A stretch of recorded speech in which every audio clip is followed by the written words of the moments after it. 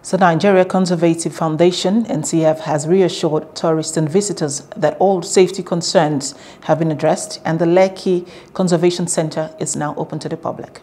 Head of Communication, Oladapo Shoneye, gave the reassurance while speaking with journalists shortly after a guided tour of maintenance work of facilities at the center in Lagos.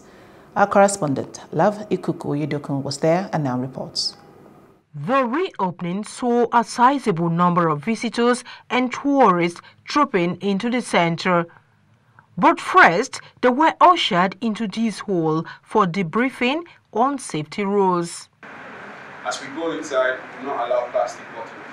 So if you have plastic bottles, water, you have to empty the contents and trash. If we have any edibles, they have to be in backpacks, bags that are locked. So the monkeys do not see it and come meet you to scratch your back. Um, every instruction the tour guide or the wildlife officer gives you, please let's adhere to it very strictly. Thereafter, we all filed on a single line en route to the forest. Inside, there are two routes, the broad walkway and the canopy walkway. The canopy walkway is a 401 meters long, 22.5 meters above the forest floor. This is crazy. The height is the height is massive. I think you cannot even look down. Wow. The canopy walkway consists of seven bridges, three ascending, one straight, and another three descending.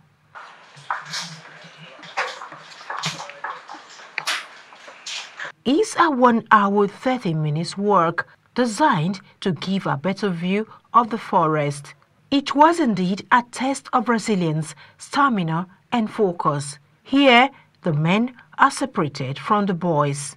This is the third bridge work and it's the highest of it all. From here you can have a very beautiful view of the forest at the uh, Lekki Conservation Center. It's quite amazing. Wow. The expedition finally terminated at the family point where everyone relaxed and relished their experience. It was lovely. Um, I really enjoyed the canopy walk. I thought um, it was longer than I expected. The height was amazing. The views were great. The wind felt great despite the heat. Uh, was definitely helped uh, helped me cool off a little bit and met some really interesting and lovely people. They told us that we have a lot of uh, wild animal here. It's only monkey that I've seen since I've not seen any other. This is just the question that I have keeping asking. Where is other animals? Oladapo Shoneye is a head communication NCF. He spoke afterwards.